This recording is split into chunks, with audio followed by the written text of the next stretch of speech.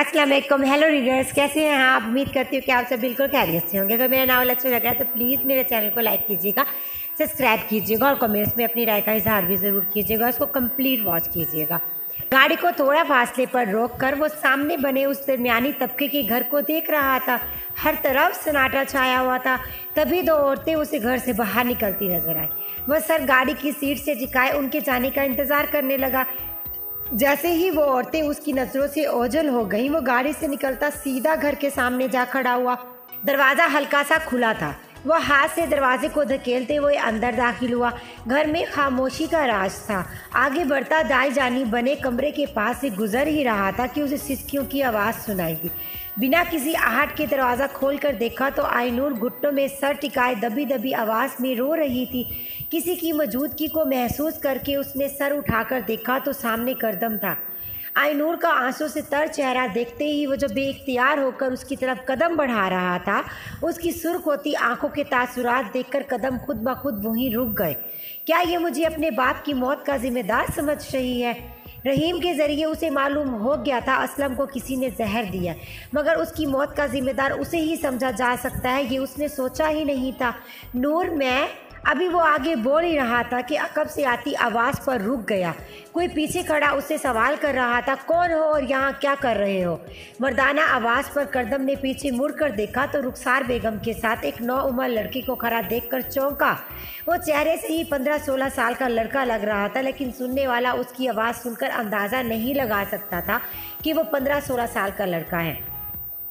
उसकी भारी आवाज़ से किसी भरपूर मर्द का ही गुमान होता रहा। तुम रुखसार बेगम को उसे यहाँ देखकर हैरानी हुई। आप इस आदमी को जानती हैं? हाँ हाँ आदि वो रुखसार बेगम को समझ ना आया, उसे क्या जवाब दे? उधर करदम उनके आदि कहने पर चौंक उठा था उस लड़की को गौर से देखते यकदम उसे पछतावे ने आन घेरा था आई नूर के साथ अपना कल रात का रवैया याद करके उसे नदामत महसूस हुई। तो उसका फ़ोन आ रहा था कल रात। लेकिन ये है कौन?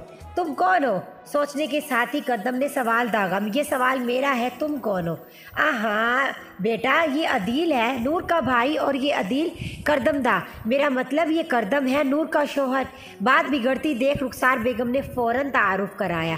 करदम जहाँ हैरान था, उसे देख रहा था, वही अदील शौक सा कभी, उसे तो कभी आयनूर को देख रहा था। आप ही क्या ये सच है? उसने आयनूर को मुखातिब किया, जो उन सबसे बेनियाज बैठी आँसू बहा रही थी। वो बगैर कोई जवाब दिए उठकर कमरे से बाहर निकल गई। आप ही आप ही अदील फ़ौरन उसके पीछे लपका। बेटा, तुम खड़े क्यों हो? आओ बैठो। इन दोनों को जाते ही रुखसार बेगम गर्दम से मुखातिब हुई। नहीं, मैं बैठने नहीं आया। असलम की मौत का पता चला, सुनकर अफसोस हुआ। उसकी बात पर रुखसार बेगम हैरान होती उसे देखने लगी, जो पैसों की खातिर उसकी जान लेने जा रहा था। आज खड़ा उसकी मौत पर आजारे अफसोस कर रहा था। उनके इस तरह देखने पर करदम को अपना आप अहम काना लगा। बस बेटा, जैसी अल्लाह की मर्ज़ी। रुखसार बेगम अपनी हैरत पर काबू पाती फ़ौरन बोली, कुछ मालूम हुआ आपको किसने जहर दिया। नहीं, बस इससे फ़र्क भी नहीं पड़ता। जाने वाला कौन सा वापस आएगा? आप चाहें तो मैं मालूम करवा सकता हूँ। फिर आप जो चाहें असलम के कातलों को सज़ा दें। करदम की बात पर रुखसार बेगम मुस्कुरा दी। नहीं बेटा, हम इंसान कौन होते हैं किसी को सज़ा देने वाले? ये इख्तियार तो सिर्फ़ अल्लाह के हाथ में है। वो बेहतर सज़ा तजवीज़ करेगा असलम के कातलों की। रुखसार बेगम की बात पर वह खामोश हो गया। तुम नूर को लेने आए हो। उसको खामोश करा देख रुखसार बेगम ने पूछा, वो मैं कमरे से आती चीखों की आवाज़ पर करदम यकदम बोलते बोलते रुका। आवाज़ आई नूर की थी। निकलो, अकेला छोड़ दो मुझे। उसकी चीखों पुकार सुनकर दोनों जल्दी से दूसरे कमरे की तरफ़ बढ़े। नूर, क्या कर रही हो? संभालो खुद को। अंदर आते ही रुखसार बेगम ने आईनूर को पकड़ा, जो अदिल को धक्के देते हुए कमरे से निकाल रही थी।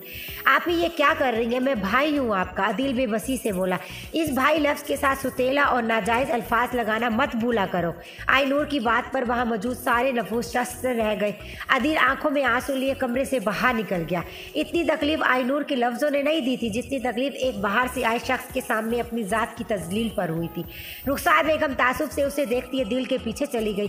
करदम साकित खड़ा उसे देख रहा था। उसे समझ नहीं आ रहा था कि वापस चला जाए यहाँ रुक कर आईनूर को चुप कराए, जो अब ज़मीन पर बैठी आँसू बहा रही थी। करदम चलता हुआ आईनूर के पास आया। उसके कंधे पर हाथ रखा तो आईनूर ने सर उठा कर देखा। कदम को देखकर वो बेकाबू हो गई और उसके सीने से जा लगी और जारों का तार होने लगी। करदम ने भी अपने दोनों बाजू को उसके गिर्द बाँध लिए और आईनूर को अपने सीने में छुपाने लगा। अब उसने फैसला कर लिया था कि उसे आगे क्या करना है। सोफे पर बैठा धीरे धीरे शराब के घून भर रहा था। असलम के घर से वो कुछ देर पहले वापस आया था। करदम सोचता हुआ उठकर खिड़की के सामने जाकर खड़ा हुआ। गिलास अभी भी उसके हाथ में ही था। नूर का भाई वो भी सुतेला। पता नहीं इस लड़की से जुड़े और कौन से राज सामने आना बाकी है। उसकी ज़ात एक पहेली सी है जिसको हल करना इंतहाई मुश्किल लगता है। करदम बड़बड़ाते हुए शराब के घूंड लेता, उफक पर नज़र आते महताब को देखने लगा, जिसके नूर में वो आई नूर को तलाश कर रहा था। असलम के इंतकाल को तीन दिन गुजर चुके थे। आईनूर अब भी उधर ही थी। उस दिन के बाद से कदम दोबारा नहीं आया था, मगर आज उसने सीमा खाला के ज़रिए आयनूर तक पैगाम पहुँचा दिया था कि रहीम आज उसे लेने आ रहा है। उसके साथ अब घर वापस आ जाए। मगर अदील को जैसे ही बात का इल्म हुआ, वो उसके सर पर जा पहुँचा और अब भी वो आयनूर के कमरे में मौजूद मुसलसल उसे समझाने की कोशिश कर रहा था।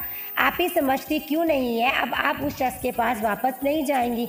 मैंने तुमसे तब भी कहा था, आदि, अब भी कह रही हूँ।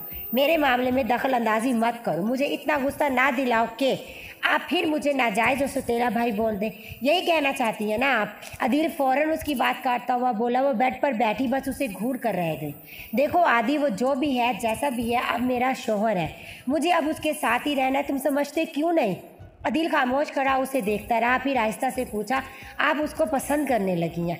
अब की बार खामोश रहने की बारी आई नूर की थी। कुछ पल खामोशी से उसे देखते वो नसरें चुराते हुए बोली हाँ कौन सी ऐसी बीवी होगी जो अपने शोहर को पसंद नहीं करेगी? लेकिन मैं सिर्फ़ आपकी बात कर रहा हूँ, किसी दूसरे की नहीं। तुम तुम मेरे मामलात में मत पड़ो, वो झुंझला उठी। आप ही आप समझती क्यों नहीं, मैं आपको खो नहीं सकता। अगर उस आदमी ने आपको कोई नुकसान पहुँचा दिया तो मैं क्या करूँगा? उसके लहजे में कुछ बेबस था। तुम फ़िक्र नहीं करो, वो जल्द ही मुझे इस रिश्ते से आज़ाद कर देगा, फिर मैं वापस तुम लोगों के पास आ जाऊँगी। ये कहते हुए उसे अब खुद भी यकीन नहीं था कि वाकई क्या वो वापस आ जाएगी। वो बस सोच के रह गई। और नरम मुस्कुराहट होंठों पे सजाए अदिल को देखा, जो आँखों में उम्मीद लिए, उसे ही देख रहा था। तुम जाकर अपनी पढ़ाई करो, मैं ज़रा मामा से भी मिल लो। वो मुस्कुराकर कहती, कमरे से बाहर निकल गई। अदिल बेबसी से बड़बड़ाते हुए वो बेड पर लेट गया। रुखसार बेगम जहर की नमाज़ अदा कर रही थी, जब वो खामोशी से कमरे में आ बैठी और उनकी नमाज़ मुकम्मल होने का इंतज़ार करने लगी। रुखसार बेगम ने सलाम फेरा और चेहरा मोड़ कर उसकी तरफ़ देखा, जो बेड पर बैठी यकटुक उन्हें ही देख रही थी। वो दुआ मांग कर जाए नमाज़ को उठाकर रखती, उनके पास आकर बैठ गई। हुआ? कुछ नहीं, उसने नफ़ी में सर हिलाया। फिर, मैं चाहती हूँ अब आप अदिल के साथ कराची वापस चली जाए। आप यहाँ, अब यहाँ कुछ नहीं रखा। वो दुख से बोली और बार बार पलके चपकाती। आँखों में अमंड आने वाले आँसू को पीछे धकेलने लगी। रुखसार बेगम का गम भी कम न था। वो उसे देखते हुए बोली, और तुम? मैं भी आ जाऊँगी बाद में। क्या वो तुम्हें अब वापस आने देगा? उनके सवाल पर उसने नज़रें चुराई। पता है नूर, जब मैंने पहली दफ़ा उसे देखा था उसे उसकी आँखों में तुम्हें हासिल करने की चाहती मगर अब अब उन आँखों में तुम्हारे लिए कुछ और जज्बात देखी हैं मैंने।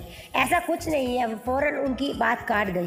तुम ना मानो नूर, मगर ऐसा ही है। वो अब तुम्हें खुद से अलग नहीं करेगा, वो उसके चेहरे पर नज़रें चमाए बोली, जैसे कुछ छूटना चाह रही हो। मैं यहाँ ये बातें करने नहीं आई, वो जिद चुई रुखसार बेगम खामोशी से उसे देखती रही कि तभी बाहर से गाड़ी के हारन बजाने की आवाज़ आई।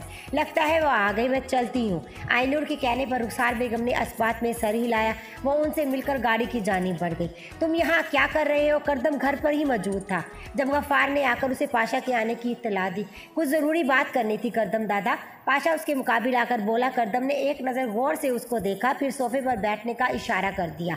खुद भी उसके सामने वाले सोफे पर बरजमान हो गया। कहो, क्या कहने आए हो? मैं यहाँ तुमको खबरदार करने आया हूँ। उसकी बात पर करदम ने हैरानी से उसे देखा। जानते भी हो किससे क्या बात कह रहे हो? बहुत अच्छे से जानता हूँ मैं इस वक्त करदम दादा से मुखातिब हूँ। पाशा इतमान से बोला और जेब से मोबाइल निकाल मोबाइल निकाल कर उसके सामने किया। क्या? इसमें जमशेद की वीडियो है। हमारे झगड़े के बाद वो मेरे पास आया था ताकि वो मेरे साथ मिलकर तुम्हें नुकसान पहुँचा सके। पाशा ने कहकर वो वीडियो चला दी।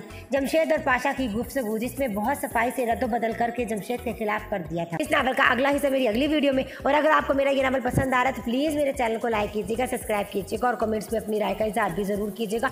और मेरे चैनल पर और भी बहुत बहुत अच्छे अच्छे नॉवल हैं, उनको भी कंप्लीट वॉच कीजिएगा, अपना ख्याल रखिएगा। अल्लाह